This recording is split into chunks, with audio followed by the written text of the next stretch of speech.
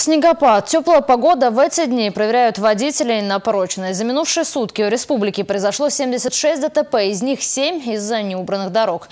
Если одних такая погода пугает, то другие видят в этом романтику. В сети за последние сутки появилось много снимков зимней сказки.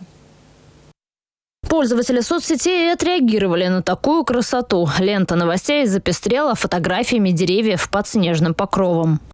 Под снежным покрывалом причудливо выглядят все, особенно автомобили.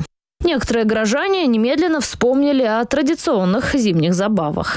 Наслаждаться всей этой зимней сказкой горожанам осталось недолго. Уже в ближайшие дни в Чебоксары придут сильные морозы и непогода.